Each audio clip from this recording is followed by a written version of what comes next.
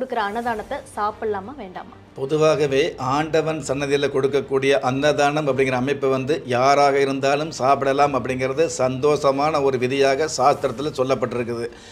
ஆண்டவனை பார்க்கறதுக்காக கோயிலுக்கு போகலாமே தவிர்த்து அன்னதானத்துக்காகவே கோயிலுக்கு போகக்கூடிய வழக்கத்தை தவிர்த்துக்கிறது நல்லதுங்கிற விஷயத்தையும் நமக்கு சாஸ்திரம் சொல்லி வச்சிருக்குது.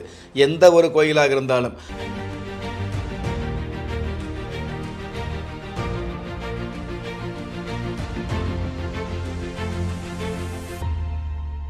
ராஜயோகம் டிவி நேர்கள் அனைவருக்கும் வணக்கம். ஆன்மீக தகவல் நிகழ்ச்சியில் உங்கள் எல்லாத்தையும் சந்திக்கிறதுல ரொம்பவே மகிழ்ச்சி. நம்ம நிகழ்ச்சியில் நம்ம எல்லாத்துக்குமே ரொம்ப பிடிச்ச Rajayogam doctor K. Ram sir அவர்களை வெல்கம் பண்ணிடலாம். வணக்கம் சார். வணக்கம். சார் பொதுவாக வந்துட்டு கோயிலில் போயிட்டு நம்ம வழிபாடு முடிச்சதுக்கப்புறம் அன்னதானம் போடுவாங்க. சில பேர் வந்து அது விரும்பி சாப்பிடுவாங்க சில பேர் பசிக்கு சாப்பிடுவாங்க. சில பேர் வந்து பார்த்தீங்கன்னா இல்லை இல்லை கோயிலில் கொடுக்குற அன்னதானம் மிகவே வந்து ஒரு நல்ல மா நல்ல விஷயங்கள்னு சொல்லிட்டு அதுக்காக சாப்பிடுவாங்க. கோயிலில் கொடுக்குற அன்னதானத்தை சாப்பிடலாமா வேண்டாமா? பொதுவாகவே ஆண்டவன் சன்னதியில் கொடுக்கக்கூடிய அன்னதானம் அப்படிங்கிற அமைப்பு வந்து யாராக இருந்தாலும் சாப்பிடலாம் அப்படிங்கிறது சந்தோஷமான ஒரு விதியாக சாஸ்திரத்தில் சொல்லப்பட்டிருக்குது. ஆண்டவனை பார்க்கறதுக்காக கோயிலுக்கு போகலாமே தவிர்த்து அன்னதானத்துக்காகவே கோயிலுக்கு போகக்கூடிய வழக்கத்தை தவிர்த்துக்கிறது நல்லதுங்கிற விஷயத்தையும் நமக்கு சாஸ்திரம் சொல்லி வச்சிருக்குது. எந்த ஒரு கோயிலாக இருந்தாலும் அது வந்து சாந்தமான அமைப்பில் இருந்தாலும் சரி தத்ரூபமான அமைப்பில் இருந்தாலும் சரி அகோர அமைப்பில் இருந்தாலும் சரி அல்லது வந்து பார்த்திங்கன்னா அதாவது வந்து சாமிகளே வந்து பார்த்திங்க அப்படின்னா அமைதியான தெய்வம் ஆக்ரோஷமான தெய்வம் இருக்கும் இல்லையா? அந்த மாதிரி எந்த மாதிரியான அமைப்பில் வந்து தெய்வ சன்னதிகள் இருந்தாலும் இந்த தெய்வ சன்னதி சம்மந்தப்பட்ட விஷயங்களுக்கு நம்ம வந்து ஒரு பிரார்த்தனைக்கு போகும் பொழுது அங்கே கொடுக்கக்கூடிய அன்னதானத்தில் வந்து தாராளமாக நம்ம கலந்துக்கிறது மிகப்பெரிய அமைப்பு. திருப்பதி அப்படிங்கிற எல்லோருமே வந்து ஆசையோடு எதிர்பார்க்கக்கூடிய அமைப்பு. திருப்பதி சாமிக்கு இருக்கக்கூடிய சிறப்பாக இருந்துகிட்டு இருக்குது. அந்த திருப்பதி சாமி கோயிலில் கூட அன்னதானம் இருந்தது அப்படின்னா அவ்வளவு கூட்டத்தில் வந்து முண்டி அடித்து நீங்கள் வசதி உள்ளவராகவே இருந்தால் கூட அந்த அன்னதானத்துக்கு முண்டி அடித்து ஏதாவது ஒரு வகையில் போய் உட்கார்ந்து இடம் பிடிச்சு அன்னதானம் சாப்பிட்டீங்க அப்படின்னா கண்டிப்பாக திருப்பதிக்கு போனால் திருப்பம் வரும் அப்படிங்கிற அந்த வார்த்தை உங்களுடைய வாழ்க்கையில் பலிதமாகக்கூடிய மிக பெரும் பாக்கியத்தை யாராக இருந்தாலும் சந்திக்க முடியும் அப்படிங்கிறது யதார்த்தமான உண்மை. பொதுவாகவே கோயில் குளங்களுக்கு போகும் பொழுது அன்னதானம் சாப்பிடலாம். குலதெய்வத்து கோயிலில் போடுகிற அன்னதானம் தாராளமாக சாப்பிடலாம். பௌர்ணமி திதிகளில் கொடுக்கக்கூடிய அன்னதானங்களில் கண்டிப்பாக நம்ம வந்து கௌரவம் பார்க்காமல் கலந்துக்கலாங்கிற விஷயத்தை சாஸ்திரம் சொல்லி வச்சிருக்குது.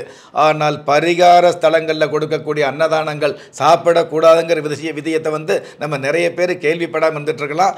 ஆனால் கண்டிப்பாக அதாவது எந்த ஒரு தெய்வ சன்னதியாக இருந்தாலும் புண்ணிய ஸ்தலங்களில் கொடுக்கக்கூடிய அன்னதானம் சம்பந்தப்பட்ட விஷயங்களை தாராளமாக சாப்பிடலாம். ஆனால் பரிகார ஸ்தலங்களில் கொடுக்கக்கூடிய அந்த அன்னதானம் சம்பந்தப்பட்ட விஷயங்களை ஓரளவு தவிர்த்துக்கிறது நல்லதுங்கிற விஷயத்தையும் சாஸ்திரம் சொல்லி வச்சிருக்குது அப்படிங்கிறது சாஸ்தாங்கமான உண்மையாக இருந்துகிட்டு இருக்குது அதே சமயம் வந்து பார்த்தீங்க அப்படின்னா பொதுவாகவே தெய்வ சன்னதின்னு சொல்கிறோம் இல்லையா? அதாவது தெய்வ சன்னதி சம்பந்தப்பட்ட விஷயங்களில் ஆன்மீக சன்னதியில் கொடுக்கக்கூடிய அந்த அன்னதான சம்பந்தப்பட்ட விஷயங்களில் கலந்துக்கிறது சாப்பிட்றது பரிமாறுறது சேவை செய்கிறது நல்லதுங்கிற விஷயத்தை நம்ம சொல்லியிருந்தோம். அதில் இன்னொரு சூட்சமம் என்ன கேட்டிங்க அப்படின்னா புண்ணிய ஸ்தலமாக இருக்கக்கூடிய அந்த தெய்வ திருத்தலங்களில் வந்து பார்த்தீங்கன்னா சுவாமிக்கு நெய்வேத்தியம் பண்ணி கொடுக்கக்கூடிய நெய்வேத்தியம் படைக்கப்பட்டு கொடுக்கப்படுகிற அந்த அன்னதானத்தை வந்து நம்ம சாப்பிடும்போது அளப்பரிய நன்மை கிடைக்கிது அப்படிங்கிறது உண்மை.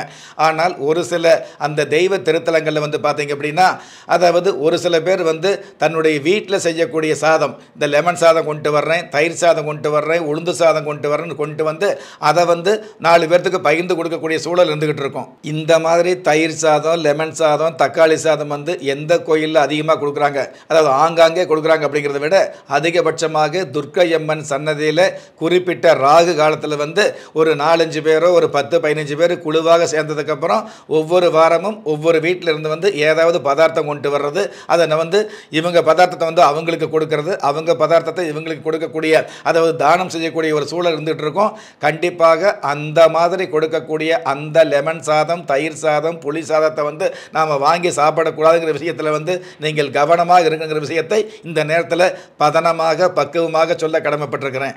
ஆனால் அதே கோயிலில் அன்னதானமாக கொடுக்கக்கூடிய சாதத்தை வந்து தாராளமாக சாப்பிடலான்னு ஏன் சொல்கிறோம் அப்படின்னா அன்னதானம் அப்படிங்கிறது வந்து தெய்வத்துக்கு நெய்வேத்தியம் பண்ணி அந்த அன்னதானம் சமைச்சதுக்கப்புறம் முதல் முதலாக தெய்வத்துக்கு வந்து தளவாழ இலையில வந்து படைச்சு நெய்வேத்தியம் பண்ணினதுக்கு அப்புறம் தான் அன்னதானம் பரிமாறக்கூடிய ஒரு வழக்கம் இருக்கிறதுனால அந்த அன்னதான நிகழ்ச்சியில் வந்து தாராளமாகவே கலந்துக்கலாம் அந்த காலத்தில் வந்து அன்னதானம் அப்படிங்கிறது வந்து பார்த்தீங்க அப்படின்னா பொதுவாகவே விறகு வச்சு அடுப்பெரிஞ்சு நெருப்பு போட்டு அதில் வந்து சாதம் சமைச்சு அன்னதானம் போடுறது அப்படிங்கிறத விட பசு மாட்டுடைய சாணம் இருக்கும் இல்லையா? அதை வந்து எருவு மாதிரி அப்பளம் மாதிரி ரவுண்டாக தட்டி காய வச்சு அந்த அதை மட்டுமே நெருப்புக்கு பயன்படுத்தி நெருப்பாக பயன்படுத்தி பசு எருவால் பசும் சாணத்தால் சமைக்கப்பட்ட உணவுகளை தான் அன்னதானமாக படைக்க சொல்லி கோயிலில் வந்து ஆகம சாஸ்திரமாக வச்சுருந்தாங்க. இது அந்த காலத்தில். ஆனால் இந்த காலத்தில் அதற்கெல்லாம் வாய்ப்பில்லை அப்படிங்கிறதுனால சாங்கியத்துக்காக சடங்குக்காக அன்னதானம் பண்ணும் பொழுது ஒரு சிறிய அளவில் ஒரு இரநூறு கிராம் அல்லது முந்நூறு கிராம் பச்சரிசி போட்டு அந்த பச்சரிசி சம்மந்தப்பட்ட பொங்கலை வச்சு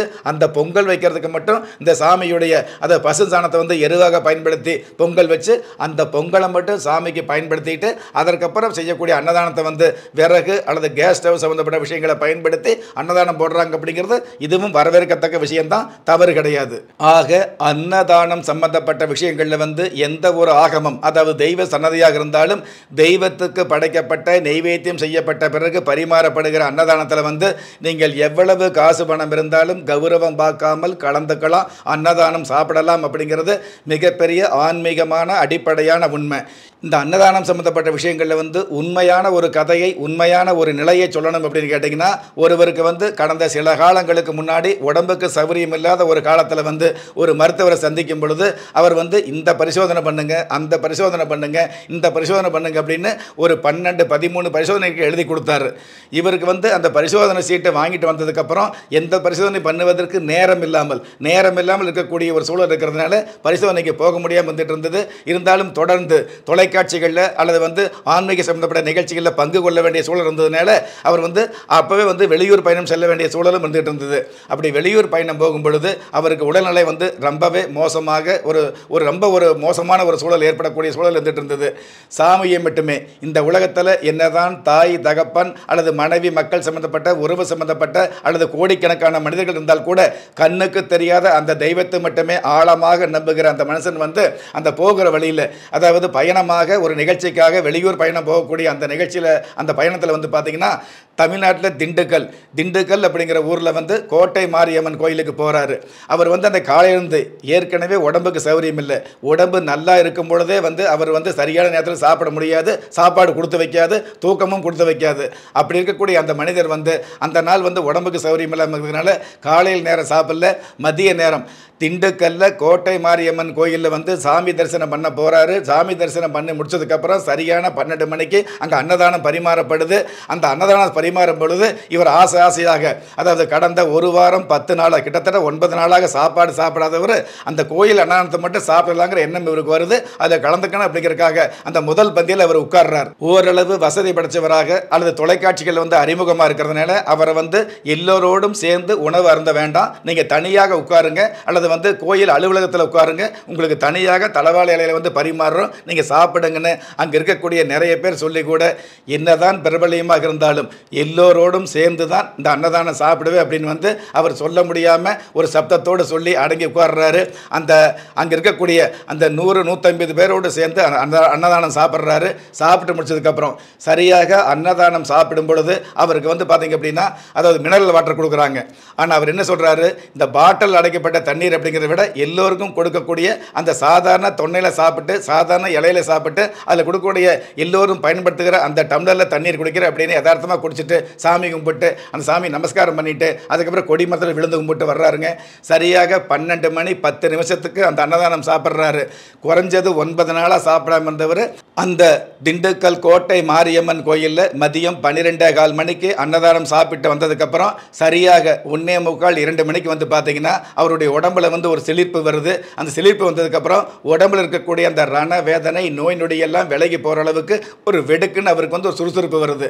அதாவது எவ்வளவோ பரிசோதனை பண்ணி அல்லது எவ்வளவோ மருந்து மாத்திரைகள் எடுத்து அல்லது பெரிய பெரிய மருத்துவரை பார்த்து சரியாகாத அல்லது சரி பண்ண முடியாத அல்லது அந்த மாதிரியான விஷயங்களுக்கு வந்து நேரம் இல்லாமல் இருக்கக்கூடிய அந்த மனுஷாளுக்கு வந்து சாதாரண ஒரு அன்னதானம் தான். அதாவது எந்த ஒரு மருந்து மாத்திரையும் சேராத ஒரு சாதாரண கோயிலில் கொடுக்கக்கூடிய அந்த அன்னதானத்தை அவர் சாப்பிட்றோன்னே அடுத்து வரக்கூடிய ஒன்றரை மணி நேரத்தில் அவருக்கு வந்து அதாவது உடம்புல வந்து துள்ளி குதிக்கக்கூடிய ஒரு சுறுசுறுப்பு ஏற்படுது அப்படிங்கிறது வந்து எவ்வளவு ஒரு ஆச்சரியமான ஆன்மீகமான விஷயம் அப்படிங்கிற விஷயத்தை இந்த நேரத்தில் பகிர்ந்துக்க கடமைப்பட்டிருக்கிறேன். இது வந்து புத்தகத்திலேயோ வேறு விஷயத்தை சொல்ல கிடையாது. அந்த மாதிரி ஒன்பது நாள் சாப்பிடாம ஆகாரம் இல்லாமல் அலைஞ்சு திரிஞ்ச அந்த மாமனிதர் உங்கள் முன்னாடி பேசிட்டு இருக்கிற நான் தான். அவ்வளவு கஷ்டப்பட்டு இருந்தால் கூட இஷ்டப்பட்டு கஷ்டப்படக்கூடிய பக்குவத்தோடு அந்த கோயிலில் கொடுக்கக்கூடிய அந்த அன்னதானத்தை வந்து கௌரவம் பார்க்காமல் சாப்பிட்டதுனால தான் இன்றைக்கி வந்து மிகப்பெரிய கௌரவத்தோடு. ஒரு கோயில் மட்டுமல்ல பல கோயில்களுக்கு பல லட்சக்கணக்கில் வந்து அன்னதானம் பண்ணக்கூடிய பாக்கியங்கள் சொந்த ஊர் பிறந்த ஊர் சொந்த நாடு அப்படிங்கிறத விட அதை அதாவது அகில உலகத்தில் வந்து நிறைய நாடுகளுக்கு நிறைய கோயில்களில் வந்து அன்னதானம் பண்ணக்கூடிய பாக்கியம் கிடைக்கக்கூடிய அரும்பெரும் பாக்கியம் கிடைச்சதுங்கிற விஷயத்தை எதுக்காக சொல்கிறோம் அப்படின்னா வெறுமனே அன்னதானம் அப்படிங்கிற கௌரவம் பார்க்காமல் அந்த அன்னதானம் சம்மந்தப்பட்ட விஷயங்களில் ஈடுபாடு ஆன்மீகம் வந்தது அப்படின்னா உங்களுடைய வாழ்க்கை மிகப்பெரிய கௌரவமாக இருக்கும் அப்படிங்கிற விஷயத்தை இந்த நேரத்தில் நிதர்சனமாக நிச்சயமாக ஆன்மீகமாக அதே சமயத்தில் ஆழமாக எல்லாவற்றுக்கும் மேலாக உங்களுக்கு பக்க பலமாக சொல்ல கடமைப்பட்டிருக்கிறேன். சார் கோயிலில் வழங்குற அன்னதானத்தை சாப்பிடலாம் வேணாமா அப்படின்னு கேட்டதுக்கு ரொம்ப தெளிவான விளக்கத்தை கொடுத்தீங்க சார். அதுவும் வந்து பார்த்தீங்க அப்படின்னா பரிகார ஸ்தலங்களில் வந்துட்டு தவிக்கிறது ரொம்பவே நல்லது. புண்ணிய ஸ்தலங்களில் எடுத்துக்கிட்டால் ரொம்ப நல்லது அப்படின்னு சொல்லியிருந்தீங்க. உதாரணத்துக்கு வந்து உங்களையே எடுத்தது சொன்னது வந்து மக்களுக்கு வந்து நானே வந்துட்டு யாரையோ தான் சொல்லிட்டு இருக்கீங்க அப்படிங்கிற மாதிரி தான் சார் நினச்சேன். ஆனால் நீங்களே வந்துட்டு எப்படி சார் பத்து நாள் சாப்பிடாம இருந்தீங்க? உடம்புக்கு சௌரியமெல்லாம் வந்துட்டு வைங்களே ஒரு மாதம் கூட சாப்பிடாம இருப்பாங்க. ஸோ அதுதான் அதை ஏன்னா பத்தி நம்ம பொதுவாக பேசக்கூடிய விட்டமின் இருக்குது புரோட்டீன் சொல்கிறோம் இல்லையா? இது எல்லாத்துக்கும் மேலே ஆன்மீகத்தில் இருக்கக்கூடிய சக்தி வேறு எந்த அதாவது கண்ணுக்கு தெரியாத சக்தி மிகப்பெரிய அளவில் பயன்படுது அப்படிங்கிறது ஆன்மீகத்தை நம்புகிற அத்தனை பெரியவர்களுக்கும் அத்தனை சான்றோர்களுக்கும் நிச்சயமாக தெரியும் அப்படிங்கிறது தான் நிதர்சனமான உண்மை. Super sir. பத்து நாள் சாப்பிடாம இருந்து யாரும் நீங்கள் என்னதான் வந்து ஒரு ஃபெமிலியரான ஒரு ஆளாக இருந்தாலும் கூட மக்களோட மக்களாக உட்காந்து சாப்பிட்டு அந்த மினரல் வாட்டர்லாம் கொடுத்தாங்கன்னு சொன்னீங்க. அதெல்லாம் தவிர்த்துட்டு சாதாரண மக்களோட சேர்ந்து சாதாரண தண்ணியை குடிச்சு சாப்பிட்டுட்டு அதுக்கப்புறம் ஒரு அதிசயத்தை சொன்னீங்க பாருங்க. பிரமிச்சு போயிட்டேன். அதுக்கப்புறம் நிஜமாலுமே அது எதுவுமே இல்லாமல் போயிடுச்சு எந்த ஒரு மருத்துவம் பார்க்காமயே சரியாச்சு இல்லைங்களா? அது சந்தோஷமா இருக்குது அப்படின்னு ஆச்சரியமா இருக்குது அப்படிங்கிறது தான். அதுதான். மருத்துவம் பார்க்க வசதி இருக்குது ஆனால் நேரம் இல்லை. இருந்தாலும் அந்த ஆன்மீக சம்மந்தப்பட்ட விஷயங்களில் ஈடுபாடு இருந்ததுனால அந்த நம்பிக்கை காப்பாற்றுது அப்படிங்கிறது. நான் எதுக்காக சொல்கிறோம் அப்படின்னா யாரும் மருத்துவம் பார்க்காதீங்க அப்படின்னு சொல்ல கிடையாது.